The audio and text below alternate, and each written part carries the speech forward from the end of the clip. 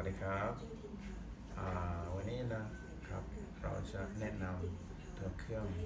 EN 2 0 4นะครับวิธีเปิดปิดเครื่องแล้วก็ดูคุณสมบัติของเครื่องนะครับโอเคอนี่จะเป็นกล่องที่เราใช้เวลาเราส่งให้ลูกค้านะครับ ตัวนี้เป็นตัวเครื่องแล้วก็ตรงนี้นะครับมันจะเป็นสวิตช์ที่เปิดปิดเครื่องตรงนี้ ราะฉะนั้นเราก็เปิดตรงนี้ได้ คุณสังเกตดูคุณสามารถที่จะเซตเครื่องเป็นพิกแล้วก็ปิดเครื่องหรือ RMS ก็ปิดเครื่องมันก็เป็นอย่างนี้นะครับ ปิดเครื่องแล้วก็ RMS นะครับโอเค แต่เราก็ใช้เป็นพิกก่อนนะครับ แล้วก็เอาเซนเซอร์มาเสียบนะครับ โอเค เสียบเซนเซอร์เรียบร้อยแล้ว เราก็ดูด้านขวานะครับ ตรงนี้นะครับ ก็คืออัตราเร่ง acceleration โอเค แล้วก็นอกจาก acceleration เราสามารถที่จะวัดความเร็วในการสั่นด้วย เป็น velocity เป็นมิลลิเมตรต่อวินาที แล้วก็ถัดไปมันจะเป็น displacement นะครับ โอเค สวิตตัวนี้มันสามารถที่จะเลื่อนได้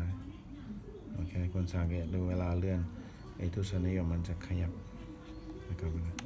ขยับตรงนี้สำหรับ displacement โอเค แล้วก็หัววัดนะครับหัววัดมันก็อยู่ฝั่งนี้ ก็สังเกตดูคนขยับหัววัดตัวเล็กจะขึ้นนะครับ แล้วก็ปุ่มตัวนี้นะครับ ปุ่มตัวนี้ใช้สำหรับกด กด กดแล้วก็ข้างมันจะมันจะขังไว้ นะครับแล้วก็ถ้าอยากจะปล่อยก็กดอีกครั้งหนึ่งมันก็ปล่อยได้นะครับโอเคแล้วก็ตะกี้นี้เราก็ดูเป็น acceleration นะครับเเราก็เลื่อนอันนี้ตรงกลาง แล้วก็เซตไว้เป็น velocity นะครับเเวลาเราเซตไว้เป็น velocity มันจะมีข้อดีที่สามารถจะช่วยเราได้ คือตัว velocity นี่นะครับ มันสอดคล้องกับตารางที่อยู่ข้างหลังนี่นะครับ เพราะฉะนั้นตอนที่เครื่องมันเซตไว้ตรง velocity โอเค คุณเอาตัวหัววัดนี่ติดกับมอเตอร์ เสร็จแล้วตัวเลขที่คนได้นะครับ สมมุติว่าเราได้ตัวเลข1.01 อย่างเช่นนะครับ โอเคคนสังเกตดูว่าตอนนี้เราใช้เป็นพีคนะครับ แล้วก็ถ้ารังตรงนี้มันก็มีพีคตรงนี้มันก็มี RMS ด้วย แต่พอดีตอนนี้เรากำลังจะใช้พีคแล้วก็พีคมันก็มีตั้งแต่ 0.4 0.6 1.0 1.5 โอเค อย่างตัวนี้ เฮ้ย อันนี้ไม่ใช่นะอันนี้ 10อ่าโอเคสิบถ้าเป็น 10ใช่ไหมมันก็อยู่ตรงนี้สิบก็อยู่ตรงสิบจุดสี่แล้วก็เข้ามาตรงนี้ แล้วก็คุณสังเกตดูว่ามันเป็นสีแดง